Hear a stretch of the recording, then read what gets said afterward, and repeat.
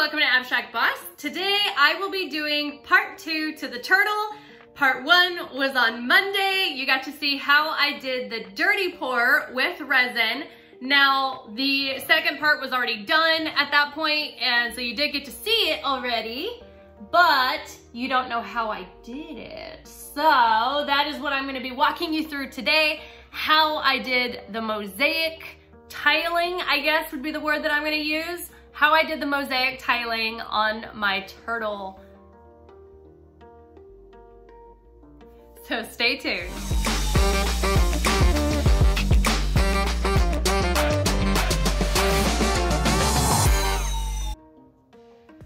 To start off, I have this giant bucket of awesomeness with all resin skins from runoffs of the projects that I have done. The yellow ones I actually just poured and then I cut them up to make my sunflower. If you follow along my Instagram or my YouTube stories, you've already seen this beauty.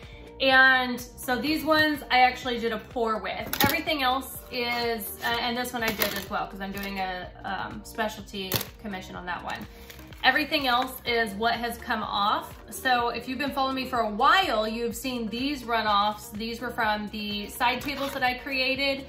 Um, there's just so many different colors in here to choose from. And that's really all I do. I go through and I pick apart and choose which ones that I need for the project that I'm working on, whatever color scheme I'm trying to go with. Um, I do save my acrylic skins as well because those are also usable. Really any of the skins. I don't, I don't like to throw any of them away. Um, and then that way, whenever I need certain colors, I will have them. I have a bunch of different colors.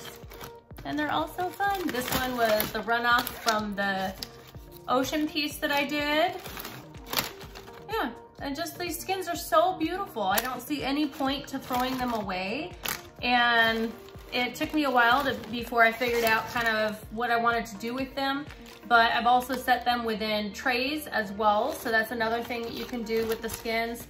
This one's really pretty. It's cream and green and gold. So, yeah. I love to do trays and I love to do um, these mosaics. The mosaics are like my favorite thing. So, now I'm gonna walk you through how I cut them. First off, I found this really cool strip that was similar to the colors I wanted to use that was all resin runoff, the drips that kind of collect on the bottom. And I was able to collect it in a line and I decided to go ahead and use this as my edging for this particular side. Just this half is going to be the mosaic tiling and then the other half I did decide to do a dirty pour. If you didn't catch that particular video, then you can do so here. All I'm doing is gluing this along the edge and then I'm gonna start cutting my triangles.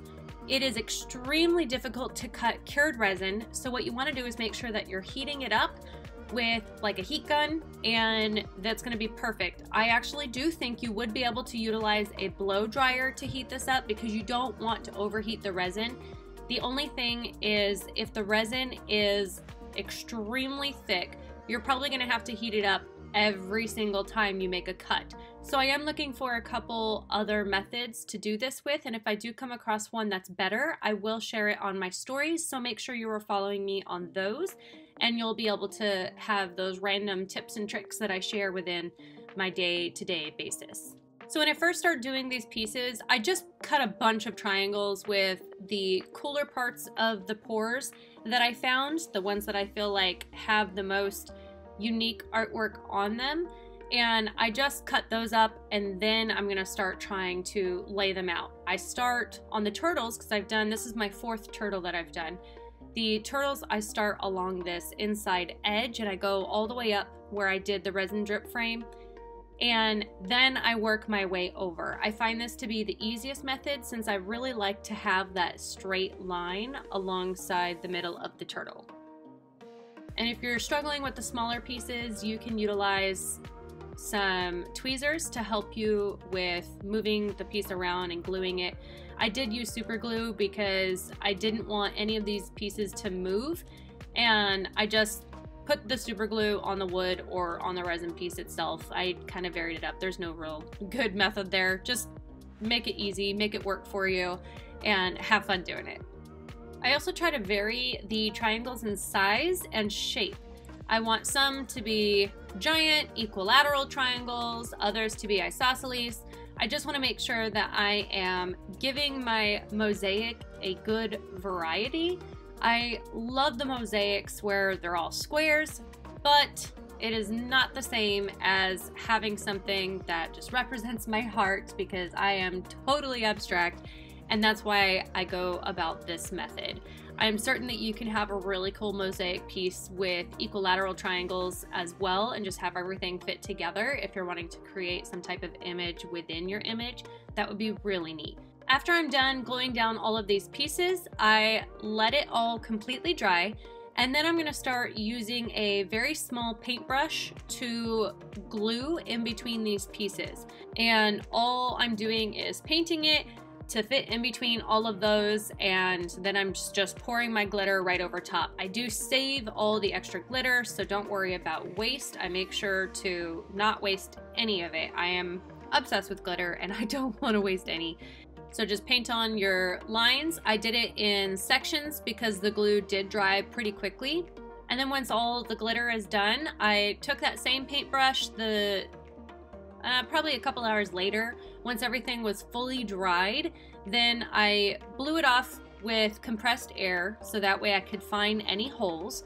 And if I found any holes, then I filled them, waited for it to dry again.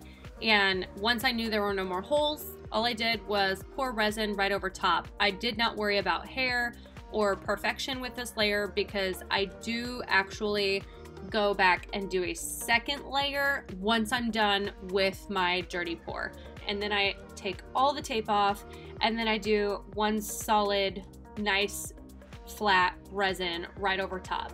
I'm going to show you guys a few pictures here at the end and you'll be able to see everything nice and shiny, gorgeous, beautiful. I love it. And that's it.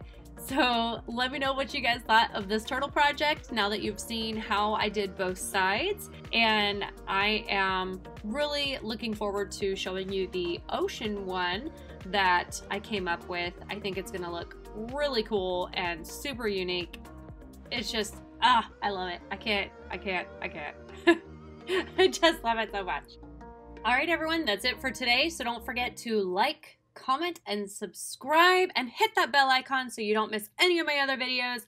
And don't forget to go check out the Facebook group so you can enter to win the Abstract Boss Award.